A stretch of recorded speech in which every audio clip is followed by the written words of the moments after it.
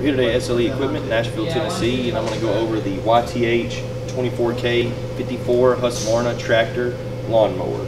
Uh, this mower here has got a 54 inch deck. Uh, it's going to be the biggest deck they offer in the tractor type. Uh, it's going to have a 24 horse engine. On this one is going to be a Kohler Courage.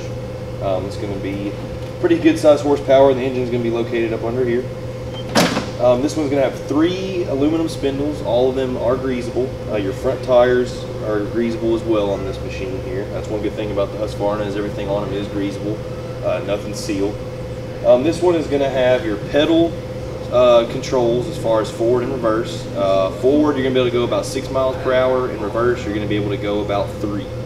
This mower is going to come with headlights. Uh, not all the tractors have that. Allows you to mow if it's starting to get dark and you need to finish up real quick. You can turn those on to give you extra light. The discharge on this one, pretty large discharge chute. It is going to be the hard plastic, uh, spring loaded, so it doesn't stay up. You will have to get something if you want to hold it up. Uh, but it's going to sit down flat like that. And then you have your deck wheels right there to keep your uh, deck from scalping. The Forward and reverse is controlled by two pedals on this machine. Uh, you have your forward pedal up front right there, and then your reverse pedal. Uh, the top speed going forward is six miles per hour, and then it's three going in reverse. Uh, this mower has your cruise control, so that way if you've got rough terrain and your foot may be slipping off the pedal, you can set it at cruise and you won't ever lose the speed that you're cutting at. Your, above your cruise is your key switch and your blade engagement. Um, in the middle of the console is your digital hour meter right here. So you can see how many hours you have when you need to know you need to change your oil.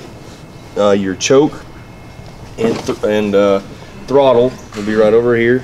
Got your choke and then your speed. Your parking brake is located here and here. Just, you have to do this switch and this at the same time to engage the parking brake. Um, gas tank is here and you can see up under the seat you can see your gas tank. Also, your model number and serial number is located right there up under the seat. Uh, your deck height will be adjusted by this lever here.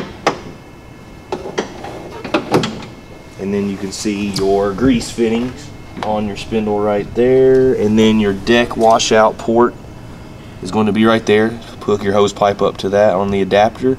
Um, this deck is going to be a stamped 11 gauge steel. Um, it is going to be powder coated on this particular model here. Any questions you have, feel free to give us a call, 615-641-7720 or visit our website at www.sleequipment.com.